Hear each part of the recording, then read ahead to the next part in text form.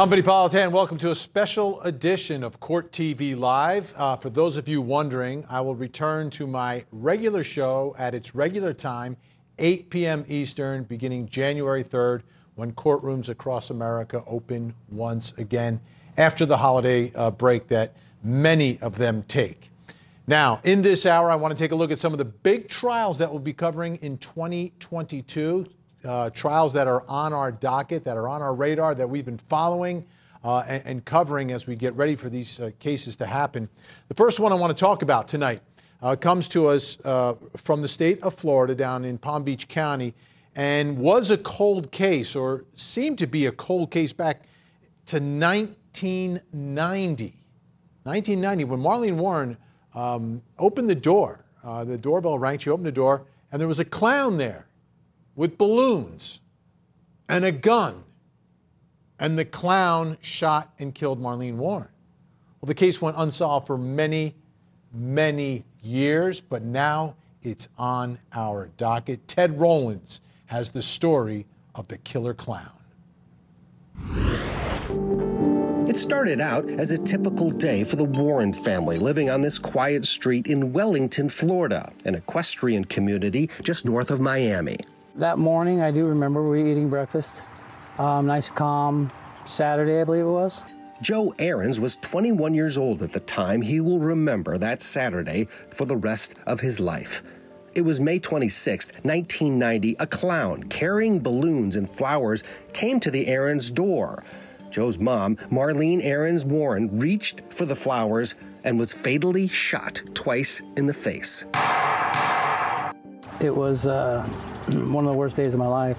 Ahrens heard the gunfire and ran to find his mother in a pool of blood. He saw the clown walk away and disappear into a white car, but had no clue who the killer was, and neither did police. The case would go cold for decades.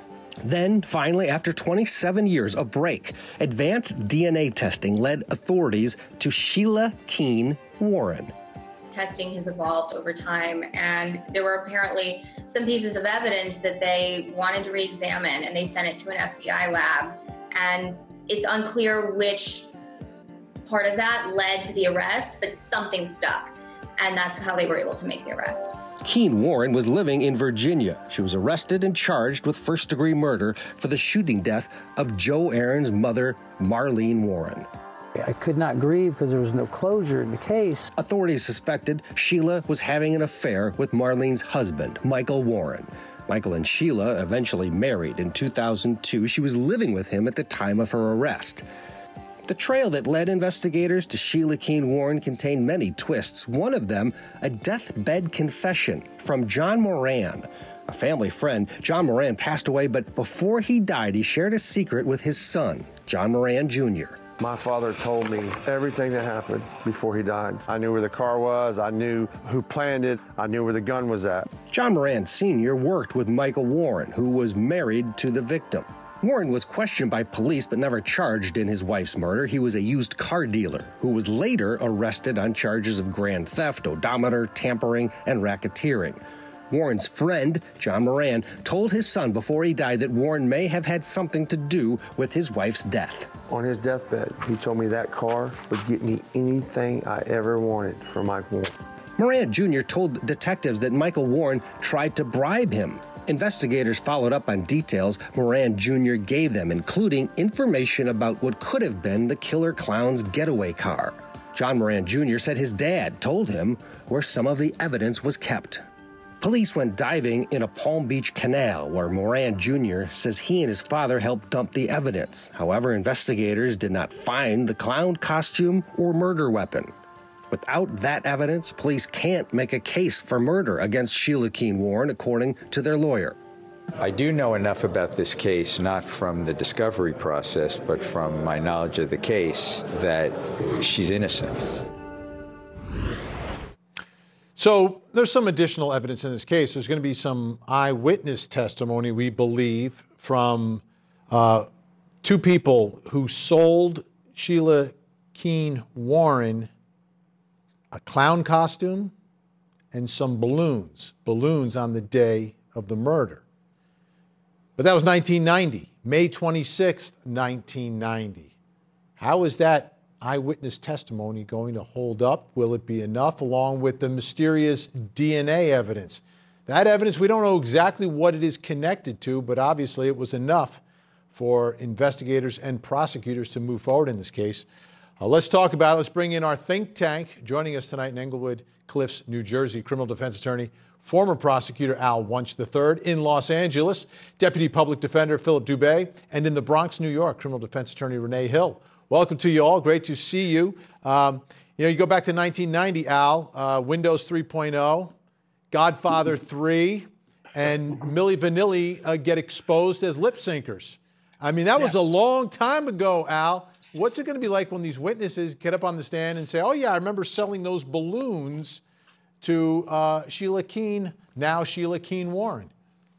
Well, first of all, Vinnie, if you've ever been to the circus, how many clowns fit in those clown cars? So keep that in mind. So I don't think any of that DNA evidence is going to be able to come in because I've seen at least 30, 40 of them get out at the Ringling Brothers Barnum and Bailey Circus in New York City. So you are looking at a very difficult situation for a prosecutor. I mean, in order to get the arrest, I mean, all they have to do is have probable cause to believe that a crime had been committed. They had enough to get her arrested. But let's try getting her convicted. And taking a look at something that goes back that far is going to be very difficult. And the clown costume and the balloons, okay, you know, but like who doesn't have a clown costume, Vin? That's what I say. Yeah, I, I actually do have one. It's left over from Halloween. uh, but Philip Dubé, I mean, you've got Witnesses are going to say she bought a clown costume. You've got another witness who's going to say she bought balloons the day of the murder. How is that testimony uh, going to go over? How credible can it be if we're talking about going back you know, more than 30 years? It's a very good question, but you know, your memory about Milli Vanilli and all the other stuff from that era is just as fresh, Vinnie. So people don't forget certain things, you know? I mean, let's face it, how often do you go out and buy a clown costume? It's a little weird, you know? And for a woman of, of this stature and this station in life, why would she go out? But I think the bigger problem is going to be to, uh, for the defense, is to, it's my understanding that uh, the defendant's DNA is on the balloons. And I believe on the flower stems or on the petals or somewhere like that. And if I recall correctly, I think the victim's hair with uh, the root is in her car. So, and it had a unique hair color on it. I believe she dyed her hair. I don't know if it was, you know, purple or, you know, eggplant or fuchsia, something like that. So it's an unusual hair color that's going to tie her directly to the victim.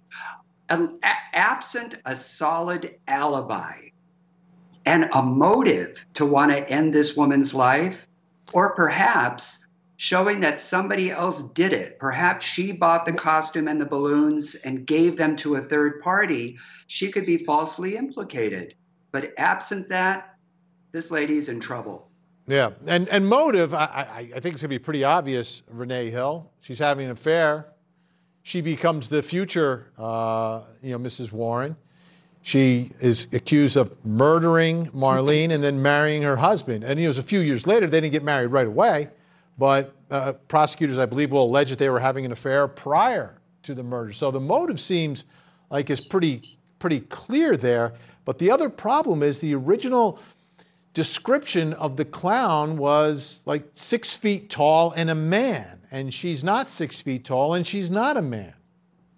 Right, and that's certainly something that the defense is going to take a look at and, and bring that out to the jury. And then the other thing that is going to be important um, is when the uh, witness who's going to testify about selling the flowers and the balloons to um, to her when they gave that statement to the police. Is that something that they just learned of more recently, or did they have that information back when the crime occurred? So that's something very important, excuse me, that they're going to have to look at. Now, Al, uh, Philip rightly pointed out that I have a pretty good memory from days gone by, but uh, again, I, I, I, cannot recall which one was Milli and which one was Vanilli, so um, it's clear but not crystal clear at this point. Um, to me, the, the, the DNA that Philip talks about becomes very important. We know how much jurors love them. Uh, in a cold case, that seems to be the most important piece of evidence that you can bring forward because anything else can be attacked. Eyewitnesses, people who suddenly come forward after 30 years can be attacked. Uh, but these days, it's, it's kind of tough to attack DNA, isn't it? It is tough. But uh, first of all, Fab was Milli. So just so you know. Um, but the situation with regards to DNA evidence, you're right. They do like to see that kind of stuff. But, you know, there could be a logical excuse as to why there is something in that car. We haven't seen how conclusive the evidence is. We have assumptions with regards to the same, but everything hasn't been put out and laid out in front of us yet. The the situation with DNA is always attractive to a jury. They love it. They like watching it on all those different crime shows. But the bottom line is going to be if there's a plausible excuse for anything being there, it's going to be very difficult to prosecute, let alone convict this woman. Philip, do you expect to see Michael Warren anywhere near that courtroom? He is well, the he's, he's the you know it was his wife who was murdered, but it's his wife who's on trial. Uh, do you expect to see him on a witness stand in the gallery behind the prosecutor? Behind his wife? What would you expect in this situation? Well, first and foremost, you can bet he's going to be under subpoena. They're going to do whatever they can to get him in there to establish the relationship with the new girl, with the clown who allegedly killed the ex wife. Uh, that's for starters. But I could actually see him taking the fifth. Uh, you know, there's an argument to be made that he was in on this. What would be her motivation completely alone to just want to snuff this woman out? You know, it'd be one thing if, uh, you know, there was some financial incentive uh, or if there was a property incentive of some type. But just out of jealous rage, it's kind of hard to believe. It sounds like that there was something more in it for the ex husband. And if I were him, I would take the fifth and ask for a lawyer and I wouldn't take the stand. Well, he has experience with criminal lawyers, I think he knows the drill. So we'll see how that all turns out. Again, folks, let's take a look when this is happening. Uh, it is on the docket for 2022. We have a trial date. Let's take a look. May 28th, May 28th, 2022, Florida versus Sheila Keen Warren, the killer clown trial. When we come back, I want to talk about the next live trial on Court TV, scheduled for January 3rd. This one out of Wisconsin. There is a videotape and there's an allegation of self defense. Does it sound familiar? Are there any um, similarities between this case and the Rittenhouse case? We'll break it down next.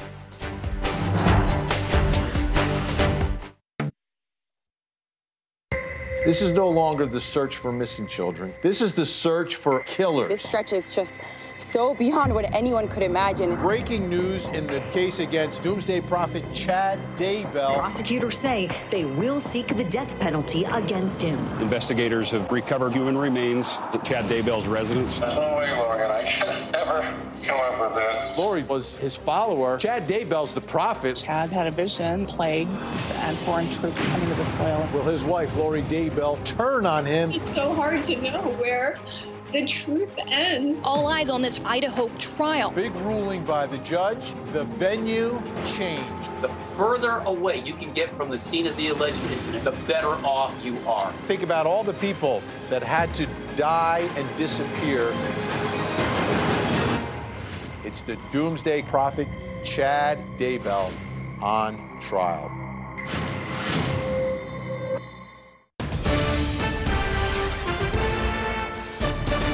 Welcome back. We're taking a look at some of the big trials that are on the docket in 2022 here on your front row seat to justice and the Doomsday Prophet, perhaps the biggest of all. Uh, we'll be talking about that uh, later this week. Uh, in the meantime, let's talk about the first big trial of 2022. Uh, court TV cameras scheduled to be inside the courtroom back in Wisconsin. Remember, we were there in November for Kyle Rittenhouse's trial. It was a case where the shooting was caught on video.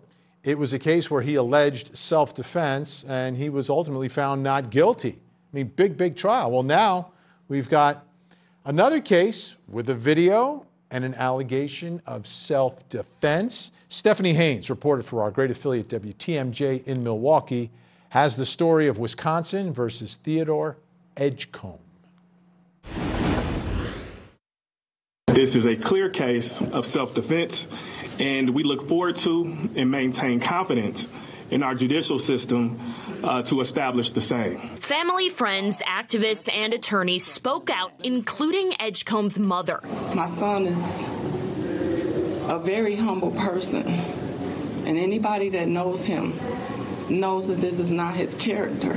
According to the criminal complaint, in September of last year, Edgecomb was riding a bike when he came upon 54 year old Jason Clearman and his wife in their car near Humboldt and Brady Streets. Prosecutors believe that's when there was some sort of verbal altercation and Edgecomb punched Clearman. Edgecomb's attorneys say this new surveillance video shows the Clearmans followed Edgecomb onto the Holton Street Bridge and shows Clearman got out of the car and approached Edgecomb in the moments before the shooting. Shortly after the shooting, TMJ4 News spoke to Clearman's wife. And my husband got out because he just talked to the man, and the guy waited. Just standing, just standing there waiting. And my husband got real close, I saw him pull out a gun, and my husband never saw it because he was close and shot him point blank in the head. And I saw my husband drop to the ground. Edgecomb's attorneys are trying to retain the same self defense expert the attorneys for Kyle Rittenhouse used at trial. Theodore Edgecomb deserves the same right that Kyle Rittenhouse got. Okay, so how similar or different are these two cases? Well, the, the defense is the same. The defense is self defense, justifiable homicide. Okay? Now, the, the part of the video that you see, you also heard the, the, the story. Now, the video shows what happens right to the point where um, the shooting takes place. But just before the video picks up what happens, prosecutors are going to allege, and I believe it will be uh, the victim's wife who was driving the car who will testify about what happened, which was um, they're going to allege that the, uh, the defendant was riding his bike uh, recklessly or, or, carelessly. There was a verbal altercation, and then the man on the bike, uh, Theodore Edgecomb, the defendant, who shot and, and killed Jason Clearman in the head, um, punched Clearman when Clearman was still in the car, in the passenger seat. And then they both ended up going in the same direction, and that's when uh, Jason Clearman gets out of the car, and you saw what happened on the video. That's where he approaches him, ends up getting shot. Let's bring back in our think tank, still with us, uh, criminal defense attorney, former prosecutor Al Wunsch, the third deputy public defender for Los Angeles County, Philip Dubé, and criminal defense attorney Renee Hill. All right, Philip Dubé. Um, do you see similarities here? Is there a huge difference? Is what, what do you see in comparing what we know about this case and what we saw uh, transpire in the same state with Kyle Rittenhouse? Oh no, I think his supporters are tone deaf, Vinnie. I don't even think it's even close. Here you have the initial aggressor sucker punching somebody who's just driving by in his car, okay, and now he gets out unarmed, okay, going toward the initial aggressor. Initial aggressor now pulls out a gun and uses lethal force? No. No jurisdiction will support a claim of self defense on those facts. No. Now, if he would have punched him back, he would have shoved him again. All right, that's maybe fair game. But this victim had absolutely no gun, no weapon, no knife, not even mace, pepper spray, brass knuckles, nothing and he pulls out a firearm and he blows them away. I think he's going down harder than Humpty Dumpty. Renee Hill, do you see any similarities uh, between the two cases? Um, I really don't see a lot of similarities here. You know, in this instance, um, Edgecomb's weapon was concealed. In in the Rittenhouse case, everyone could see what he was carrying. There's not as much chaos going on here you know, this is really a one-on-one altercation, no other people around. So, you know, the, the question really becomes to me, was the portion of him allegedly punching the passenger of the car, was that on video? Because if that's not on video, then it's going to come down to the word of the wife saying this is what happened here. He's going to say, or his defense is going to argue, that that car tried to swerve tried to, um, you know, go into him, get him off the road in some kind of way. And now they get out of the car and the person approaches him and he's in reasonable fear for his life. That's what I think the defense is going to argue here. So I think the credibility of the wife is going to be key for the prosecution here. So you're going to see them go. To they're going to go after the wife. They're going to go after the wife. The defense is completely going to go after the wife to discredit her. Absolutely. Al, uh, your thoughts about this case versus the, the trial that we covered here on Court TV of Kyle Rittenhouse? Uh, it's not even close. I mean, in the case with Kyle, you saw him getting hit, hit in the head with a, um, a skateboard. You saw the other guy pull a gun out, try to reach for his gun, and then the controversial one where the guy may have been reaching or may have tripped and going for the gun. In this case, the gun was out and everyone saw it, and still they took a chance going after him. This gentleman had a gun concealed, pulled the gun out, and very easily could have gotten away. I mean, if you watch this video here, he's on the bike, he's ahead of them. There is a cement divider between the, the sidewalk and the road that he could have very easily just continued riding, and there was no way that they were going to be able to get him at that point. He also rides off into an area where he could have made an escape.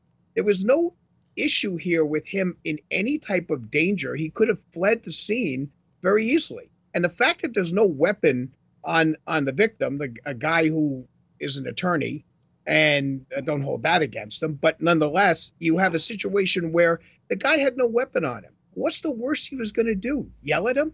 I mean, I think it was kind of stupid for the victim to get out of the car and, and to chase after the guy. I don't think that that was a very smart move, but it didn't deserve to cost his life. Philip, how about uh, there's some other facts here um, in, in, comparing the two. Uh, Kyle Rittenhouse, after firing his weapon, we see him attempt to surrender himself to police immediately. They wave him off, and then he turns himself in uh, back in back in his hometown. Um, this guy they were looking for for six months. Is the jury going to hear yeah. about that? And what does the jury think about that? That's called consciousness of guilt. That's exactly what it is. Somebody who is truly in fear for their own life and claims self defense would go to the police or wait for the police and say, This guy tried to kill me. I had no choice but to take his life. Had I not have taken his life, I would be dead and you'd be interviewing him. But no, what does he do? He takes off. So that is classic consciousness of guilt. And somehow through the defense, they're going to have to explain why he ran. Renee, as we watch the video, we can see that uh, Jason Clearman approaches him and jogs towards him. The car is, is uh, seemingly following the, the man on the bike, the defendant. Um, so there, I guess there's an argument uh, from the defense that he is being pursued at that point. Mm -hmm. Does he have to get up on the witness stand and testify, number one, about the initial um, confrontation that happened prior to the shooting that is not shown on the video? And does he have to clarify what happened in the final confrontation that we see on video but is too blurry for us to actually uh, understand what is happening? Yeah, most times in self defense cases, the defendant will have to take the stand. It's not very often that the facts and evidence that go before the jury are enough to support a self defense claim without the defendant testifying. Occasionally that happens, but not very often. So in this case, I believe that it will be necessary for him to testify because he's going to have to be able to explain to the jury what was in his mind at the time of this altercation. He's really the only one that can put forth how he felt and what he reasonably believed or what he believed was going to occur. And then the jury would have to determine whether or not it's reasonable, and the prosecution would have to disprove it beyond a reasonable doubt if they're able to put forth that much before the jury. We don't know. All right, folks, like I said, this is the first trial of 2022. Take a look. We have a trial date. Court TV cameras inside the courtroom, January 3rd, Wisconsin versus Theodore Edgecomb uh, right here on your front row seat to justice. When we come back, we're going to take a look at another case that's on the docket for 2022. We've been following it for a couple of years now, tracking uh, the progress of this. It all started as a missing child, and now that missing child's mother, teenage mother, there she is, Megan Boswell, will stand trial for the murder of baby Evelyn.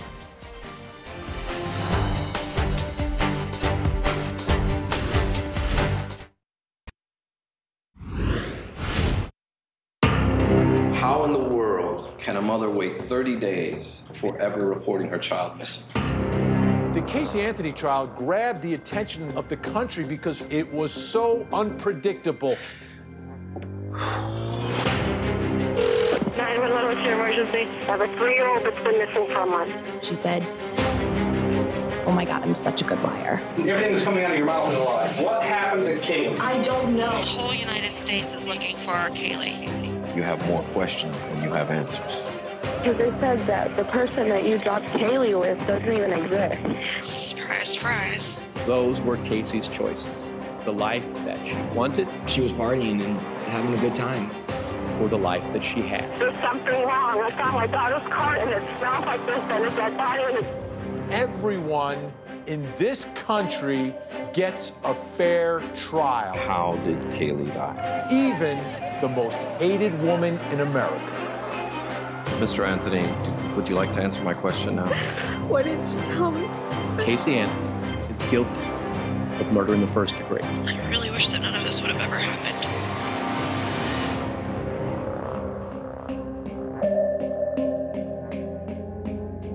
Available now on demand at CourtTV.com.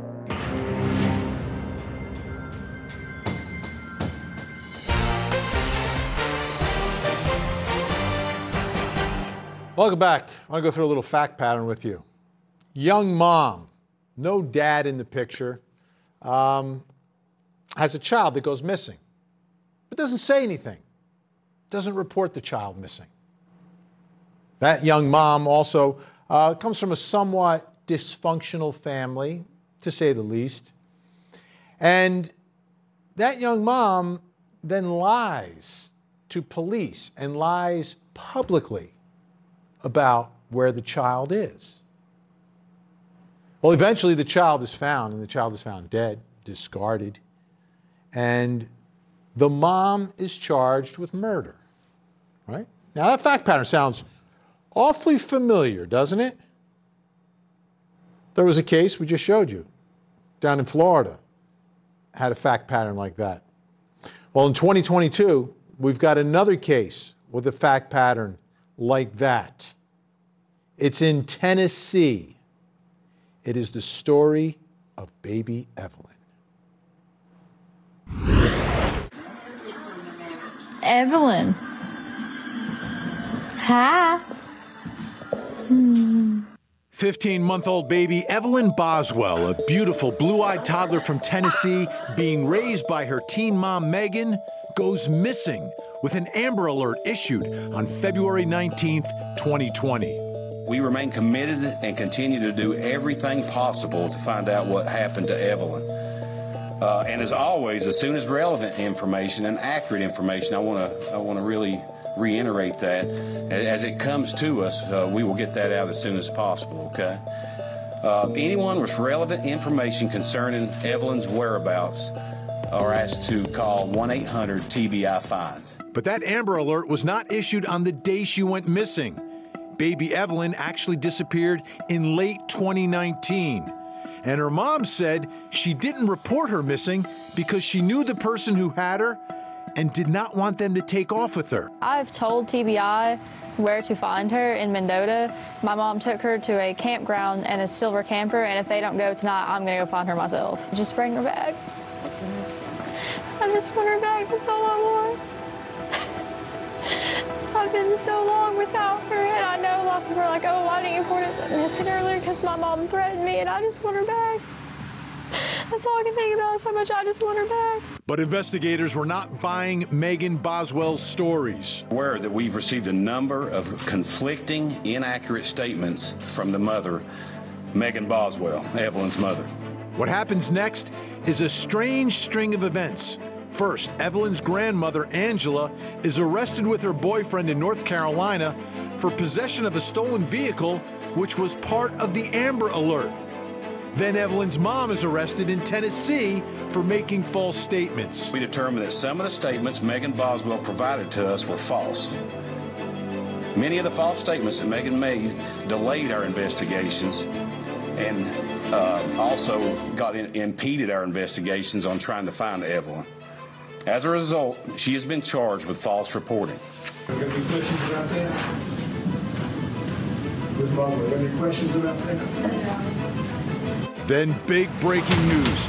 Two weeks after Evelyn was reported missing, a toddler's remains are found. This evening, we received information that led TBI agents and Sullivan County detectives to a property belonging to a family member of Evelyn's mother in the 500 block of Muddy Creek Road in Blountville. During the search, investigators discovered human remains believed to be those of a 15-month-old girl. The remains will be sent for an autopsy and a positive identification. So now the question is what happened to baby Evelyn and who is responsible? Well, investigators and prosecutors believe it is Evelyn's mom, Megan Boswell. She is going to be facing murder charges this year. Let's bring back in our think tank. Still with us, criminal defense attorney, former prosecutor Al Wunsch III. He's in Jersey. Uh, Deputy Public Defender for the Los Angeles uh, County is Philip Dubé, and criminal defense attorney Renee Hill, uh, up in the Bronx area of New York. Okay, uh, Renee, let me start with you. Um, we saw what happened years ago. You know, I have to relive it on this show way too often, but um, there's a lot of similarities between these two cases. But in that case, in, in the, the death of Caylee Marie Anthony, um, the defense pointed the finger at the family and put the family on trial, and specifically pointed the finger at George Anthony as being the one who, who you know, disposed of the body and screamed at, at, at his daughter and, and is the one that you know, kind of made her lie and then sexually molested her when she was a child, even though they presented no evidence of it. Uh, all this stuff was, was, was put in front of this jury. Is that what's going to happen in Tennessee? You know, Vinnie, it, it, it, very well may happen. And I remember in the Casey Anthony case when oh, the she jury said it. came she back. Said it. I tried I'm to do so the segment sorry I said it. saying I know you don't like the name being said, but in that case, Vinnie, you will recall when the when the jury came back and read the verdict, those jurors, some of them were crying. They were visibly crying. And I always commended that jury for really, really abiding by the court's instruction because it looked like it pained them to find her not guilty, but they believed that they were upholding the law and they were following the court's instruction and they determined that the prosecution had not proven their case beyond a reasonable doubt and they acquitted in that case. Now, here in this case with baby Evelyn, the defense is going to be able to point the finger at this dysfunctional family, to point the fingers at the mother. Um, I, I think that's what they're going to have to do. And just based on the statements, some of them being false statements, right, that we know this teen made, but there are other things that were going on and probably other evidence that we are not aware of yet that will give the opportunity to the defense to point the finger at other people to say why she is not guilty of the death of her own child. Al, what, what shocked me down in Orange County is that the, the dysfunction that was in that household was really caused by the defendant in that case, okay? Uh, it wasn't caused by George and Cindy. It wasn't caused by Caylee Marie. And the, the chaos in that house was caused by one person, one person only. Uh, in this case, though, I mean, there is, there is a history with law enforcement that uh, it seems almost every member of that family has. Uh, there are clearly some issues. She was, she's an even younger uh, mother um, than, than Caylee Marie's mother was.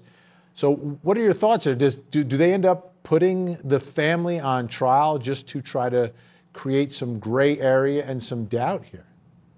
Well, I, I don't think there's any other way that they can handle it other than to do that. You you certainly have a very unique uh, family situation, a, a tragic situation with all of these forces coming together, and then you have this little baby dead. So you have to do a kind of a scattershot approach in order to be able to deflect some of the blame on this baby faced uh, mother, okay, who looks not that much older than the child that was killed, and make it seem like it is just a product of the environment that, that she was part of, that this was bound to happen. And in this case, you know, they took the death penalty off the table. So I think that is a disadvantage for her. I think it's leaving the death penalty on the table would have been better uh, from the defense standpoint because I think a jury would be very hard pressed to give a 18 year old that looks like she's about a 15 year old or a 14 year old the death penalty. So I think that uh, it was a smart move on the state. I know the state, the law required them to do it based on a case that had occurred a couple of years ago. But you, if you're the defendant in this case and you're the defense counsel, you have to start doing a scatter shot in order to be able to deflect from this girl and and her stories and her lives. But you know, she's a product of her environment. Philip, what does this trial end up being about? Is it is it about little baby Evelyn? Do you think that will actually happen inside the courtroom? Sometimes it's tough. The the victim gets lost in all this. Will it be about Megan Boswell or will it be about her family? Oh, I think it's going to be a mix. It's going to be a, a biography, if you will, about all the dysfunction in that home. Uh, it's going to be a, a tearing at the uh, the heartstrings of everybody about the uh, the young tender life of the baby. But I think most important, where I would focus my energy and marshal a defense, is what they have specifically on this young mother. It sounds like at most what I'm hearing is they have her as an accessory after the fact, and that maybe she's covering for mom. I mean, let's face it, they found the baby uh, in mom's yard they found her buried there on the premises. It's not as if they found her within the belongings or the uh, the premises of the young girl. So it sounds like there she's the patsy, if you will. She's sort of the fall guy in all of this. And I would want to see the actual physical, the biological, and certainly the circumstantial evidence. And I would want to uh, listen uh, and read any statements that she may have given to the police. All right, folks, this one happening in 2022. Let's take a look at the calendar. It is on the docket. We've got a bond motion hearing on January 21st, trying to get out on bond. We'll see if that happens. I doubt it. Uh, then a trial date of September 26th, 2022. When we come back, we've got one more trial to go over tonight. Uh, it's out of Florida, and it's a case that you saw once on Court TV. It was a hung jury there's going to be a retrial, but my real question is why isn't someone else being tried for this murder? That story next.